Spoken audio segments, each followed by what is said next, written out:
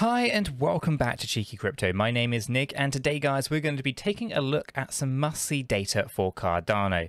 As I get into this video, if you find it useful and informative, hit the like button. I really do appreciate that. If you happen to be new to the channel, why not go ahead and subscribe. Tap the bell, select all notifications and in doing so you will be kept up to date with all the videos that we do here at Cheeky Crypto. If you have not yet joined us in Discord, links in the description down below. It's a fantastic community talking crypto 24-7. It's completely free to join so why not go ahead and check it out today. Right, let's get into this. Right, so um, obviously this is just kind of like the price action, the price charts for Cardano's ADA. Now, uh, essentially this is a weekly. We are looking at progressing up a little bit here. Um, I'm still expecting new all-time highs, all of that kind of good stuff. But I do want to kind of highlight a couple of key things here before we get into um, the real good stuff, right? So uh, from the all-time high, okay, down to the low point that we were at, uh, we have dropped 75%. Okay, um, it's a really reasonable amount. Um, and again, this for most people would be you know bear market territory. And whether we want to call it a bear market or not is entirely up to you guys. Uh, on the channel, we like to think of this more as a bearish phase of a bullish cycle. Okay, um, but again, 75%, you can't really chalk that up as anything else other than a bear market by most people's standards. And the only difference really is that crypto space in a bear market usually lasts for quite a significant period of time, uh, usually, you know, 18 months or so. Um, so when everyone calls a bear market, you know, you have to take that with a bit of pinch of salt because um, a bear market for the traditional kind of stock market is very, very different to what a bear market is like here in the crypto space. And I think this all comes down to the uh, amount of money that the space has in it, which ultimately isn't actually that much. Um, so just just keep that, bear that in mind, right? 75% drop, very significant, definitely very bearish, um, but we are looking for reversals in this. I'm not expecting us to drop down lower than the low that was actually achieved down here uh, in February of 2022, but anything is possible, but let's keep our eyes open to what happens next, okay? So I just want to kind of highlight that. And there's also lots of different ways you can count it. We could count this here as our fourth wave low, and this as our fifth wave high. That's a possible count. And if I actually go ahead and remove this, I have some AI that also runs in here, and that's exactly how it plotted it. Um, but I also think um, based on, let me actually just put that back. Uh, this corrective pattern of this fourth wave, to me, this actually looks more like an expanding flat correction with the moves that are going on here, meaning that we haven't had the fifth wave. The AI doesn't really plot out those kind of moves very well. Um, so, you know, chalk that up to what you think. Uh, it's entirely up to you. I'm not hiding anything. I think that that's a, uh, an expanding flat correction that we've seen um, from the highs of May 2021 through to the lows of February 2022. Um, and it's a really complicated corrective pattern. There's lots of corrective moves going on in there. Um, but the AI does think that actually that was the fifth wave, and then therefore this correction that we see afterwards is basically just that, and then we move on up, and we could see five more waves going up afterwards, right? As I said, 75% is very significant for the crypto space. Uh, historically speaking, 95% correction is what a bear market would low at. Um, so you know if that is something that we see, then we do see that. But essentially, I don't think that is the case with what is going on here. Um, okay, cool. So let's get into the good stuff then. So I have this data. Now, this data is super interesting. It's not the first time I've brought this up on the channel. Um, but essentially, this is actually sorted, right? So I've sorted this by transactional volume based in USD. Okay, and Cardano does come out on top of this level. Okay, so $26.75 billion in trading volume um, has, in the last 24 hours, has basically been achieved by Cardano. Okay, there's also a column here called adjusted uh, transactional volume. Okay, uh, and again here we actually have Cardano's adjusted volume slightly lower, and it's at 26.59 billion. How they get to the adjusted, I, I don't know. They're doing something with the data in the background to justify it, whatever. Um, but essentially, we end up with the same scenario at the top of the game here what do we have? We have Cardano. Now, the adjustments are really interesting and really impactful, however, for Bitcoin. Bitcoin has a trading vo- a transactional volume of 24 uh, sorry, of uh, $22.82 billion, right, uh, in the last 24 hours. But when it's adjusted, it's only 9.47 billion. So whatever adjustment model that they're using here, it hasn't really affected Cardano, but it has affected Bitcoin massively.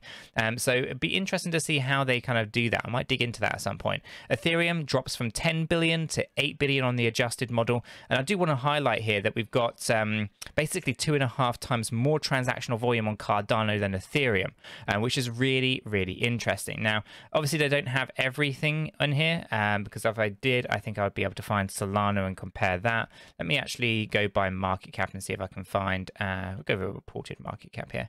Uh, Solana. So Solana does not have any kind of reported transactional volume here. Um, so I cannot get a comparison of what that looks like for Solana versus Cardano. Um, so, you know, we can chalk that up and say they've got no transactional volume. I don't think that's true either. Um, but they're definitely going to be up here somewhere. Um, but it'd be interesting to know if they're doing more transactional volume than Cardano or Bitcoin, uh, specifically on the adjusted model, which is really interesting.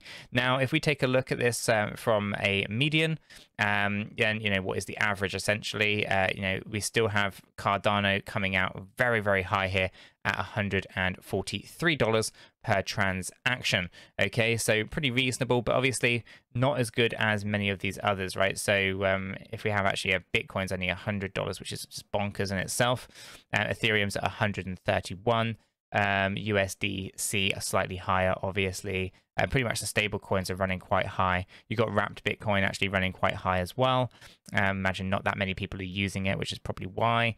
Um, but let's take a look at some active addresses, right? So Cardano is uh, has got 152,000 active addresses. Okay, and Bitcoin 949,000 and Ethereum 637. Okay, so what does this mean? Well, it means that basically Cardano is driving 2.5 times more uh, transactional vo volume than Ethereum based on what's that, one fifth of the active addresses.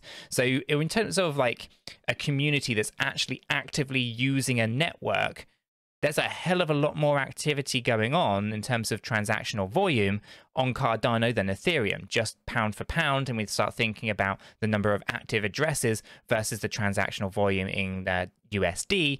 And then compare that comparatively, I guess, to uh, Cardano uh, against Ethereum, with Ethereum being, you know, 637 active, uh, uh, 637 active addresses versus the 10 billion in transactional volume. It basically means if you were to divide those two things together, you're going to find uh, actually, um, you know, pound for pound, Cardano is well more, uh, or way more active than, than maybe people are making out. And which is really, really interesting. But we can go a little bit further than that, right? I said, this is a kicker of a report, and I've put a lot of data in here. Um, so what we've got is uh, transactions, right? So Cardano has 130,000 uh, transactions, okay, in the 24 hour period. Bitcoin has 270,000 transactions. Ethereum, 1.19 million. So nearly 1.2 million transactions. So we've got a lot more active addresses, okay. We've got um, basically lower transactional volume, but more transactions. Now, this is interesting. It's interesting for multiple reasons, right? So, not only do we uh, see on Cardano that we've got you know 2.5 times more volume going through the transactions than um, you know, than Ethereum.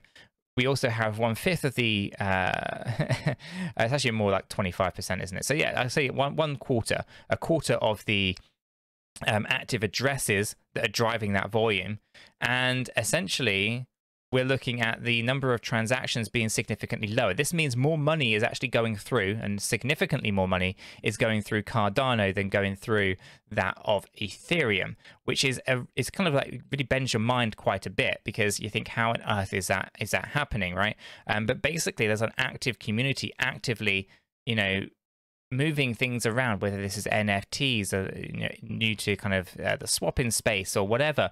Um, but it's a very active community on Cardano to drive that kind of transactional volume.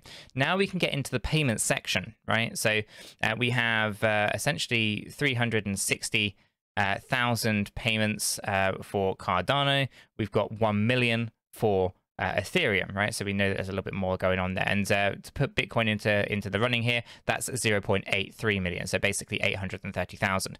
Now, what about the fees? Well, this is really where the kicker comes in, right? Uh, the fees on Cardano for all of that volume, that 26.75 billion dollars moving around, is $38,000. Get your head around that, okay? To move $10 billion for Ethereum, it costs it costs $10 million to move that money. Um, and that's absolutely insane. Um, but again, Bitcoin was also up there at $390,000 to move it's 22 billion. So essentially, um, you know, we are seeing the significance of fee management on these ecosystems, right? Um, and you know, I think it's really important that we acknowledge that Cardano's is, significantly cheaper. It's not the cheapest by any stretch of the imagination, and there are definitely going to be cheaper ones out there. Um, but essentially, it's a hell of a lot cheaper than Ethereum, and this is kind of the key thing that a lot of people kind of forget. And uh, if I actually try to find Solana, let's see what the kind of their fee section is. Let me uh, let me find that because I know that people compare Cardano to Solana quite a bit here. So Oh, look, we've got no data for Solana. I don't know if that's by design or not, but yeah, no no data, so that's useless. Um, so let's bring this back in for Cardano then. So uh, 38,000 in fees, right, and significantly less. Like I can't even do the math on that in terms of percentages less and very, very significant. So uh, essentially, if you're running a business on Ethereum and you're paying these ridiculously high fees, and then you're looking at Cardano's ecosystem, although making the move right now might not be best, there are some issues on Cardano. We can't sugarcoat everything, right? Um, but essentially, then those issues get resolved. Um, you know, Ethereum had issues when it started um, and it went live with its smart contract platform. So as soon as uh, the issues are resolved on Cardano in the same way that they were resolved for Ethereum, in the same way that they were resolved for Solana, um, you know, you should start to see maybe a migration as a significant one um, from businesses running on Cardano over to uh, sorry, from, from Ethereum over to Cardano, specifically to save serious amounts of cash just on you know pointless fees. Um, so really interesting to see how obviously Ethereum goes on with its uh, scaling uh, and what it goes next in terms of proof of stake, how cheaper those fees are going to become, if any, um, and all of that kind of good stuff. It'll be interesting to see when they ever they get that across the line that that actually happens there. Now, um, exchange flows. We don't have this for Cardano. Very disappointed in that. Um, but again, we can take a look at Bitcoin. We talk talk a lot about Bitcoin uh, in Discord in terms of the inflows and the outflows and net difference and the Bitcoin on exchanges dropping down significantly, etc. Um, but here's a really good example of what the hell's been going on with Bitcoin, right? And what do we have? We have inflows going in to exchanges for BTC, $531 million. Outflows, 1.3 billion. Okay, so we are losing like double over double um, the amount of Bitcoin, right, that goes into exchanges. And I talk about this all the time. We saw 105,000 uh, BTC yesterday left the exchanges, right? It's very significant. Now, let's take a look at Ethereum. What do we see? We see inflows of 1.5 billion, outflows of 1.3 billion, i.e., more Ethereum or ETH is on exchanges than is leaving the exchanges, meaning that people are not hoarding, they are not hodling, they are not thinking of Ethereum as an asset that they want to kind of put into cold storage and keep off of exchanges. Instead, they're using Ethereum for its use case because those payments are so expensive and those fees are so expensive that they're going to have to use it. But they don't actually think of it as a necessarily as an asset of investment. And this is because i think new people coming into the space can see exactly what's on the wall here. You've got faster smarter more secure, more scalable ecosystems, why go for old technology that can't even, you know, stick to its timeline, what always has constant delays? The people who are really pro ETH are older people who have been in the space for a while and have basically got a nice position in Ethereum and therefore want to push Ethereum. They want Ethereum to do well uh, because you know, there's there's personal greed associated with it, right? If ETH does well, they do well. Um, so I always take uh, what influencers say with a pinch of salt, specifically when they're talking about Bitcoin and Ethereum, um, because they aren't going to move the needle massively when it comes to percentage gains for your portfolio, for example, right? They just don't do that. They're, they're there for they have good you have good use cases, right? Um, Bitcoin store of value. I think essentially it's not really something you want to use for payments. Um, you can if you really want to, but I think you just end up being labeled a pizza guy, um, something to that effect. I was a joke, but obviously you get the idea. Uh, so essentially, yeah, I think Ethereum falls into that very similar boat. It has a lot going on on the ecosystem. Yeah, I own ETH. I have ETH. Chris has ETH. Um, lots of people have ETH because you need it for transactions. Maybe there's altcoins that you want that are on the Ethereum chain, therefore you have to have ETH. Um, but you don't think of ETH as an investment choice. You don't think, oh, great, great, ETH's going to go up 200% by the end of this bull run. Um, you know, you don't think that. You, you think, I need ETH because I want to get this particular altcoin that could do 20x, right? ETH's not going to do 20x. So it's important that we understand these things, right? Um, so what you're seeing here is exactly that. You're seeing inflows greater than outflows on Ethereum, but you are seeing um, inflows lower than outflows for Bitcoin. And that's very important because you've got to follow what the institutions and the whales are doing, and they're stacking up and they're parking their wealth in BTC. Um, and that's very obvious. So check out the Bitcoin video if that's of interest to you. I go through all the Glassnode data on Bitcoin and talk about what's going on there um, and how the uh, dolphins, sharks, and whales are accumulating BTC. It is very disappointing, though, that I do not have the same data for Cardano on this platform. In fact, there's hardly any on here uh, with that. So very, very disappointing. But essentially, what data we are we have got here for Cardano is very, very promising. It's showing us that this ecosystem, when it solves its issues and it starts to scale out properly, is going to be an ecosystem that is not going to be, um, you know, forgotten about. It's one that's going to shock many people, and it is one that all these influencers who were shaming it and uh, being pro Solana are going to jump all over. Do watch that space. I think it's going to be very, very interesting. Guys, I'm going to leave the video there. If you have found this useful, informative, maybe even entertaining at times, why not go ahead and subscribe? Tap the bell, select all notifications, and in doing so, you will be kept up to date with everything that we do here at Cheeky Crypto. With all that said, done, and out of the way,